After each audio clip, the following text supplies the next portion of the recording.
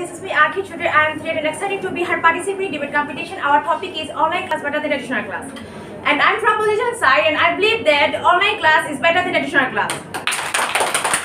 Online class is that it allows students to attend classes from any location of their choice.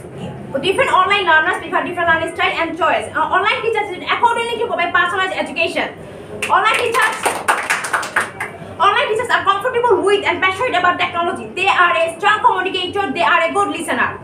We well-qualified teacher is the essential part of our educational system. We are we all know that they, are, um, they have the ability to connect with their student on a personal level. Students feel comfortable and um, is sharing their thoughts and opinions. Uh, for the students, online learning has uh, made it fun for an student. Online learning has made interesting and fun for students. Through students had two options. Either they would travel to daily or coaching classes or they would compromise with a local tutor who may not be that great in teaching. But not anymore. Now you can uh, you can get the best online classes through uh, under the guidance of the high-rated teachers. You can attend the classes from anywhere.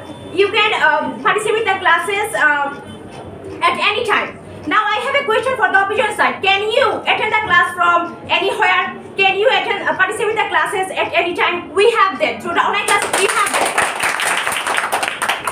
Online learning has become a new norm and it's let you adopt your own timing and convenience. It, it also allows you to learn um, it's also able to learn from anywhere at any time. Now the coronavirus has made us uh, made ourselves lock um, lock in our home. Online learning has become a new norm. Education may have number purpose and online learning have uh, online learning uh, cl online classes uh, online classes have online classes are convenient and flexible. Thank you.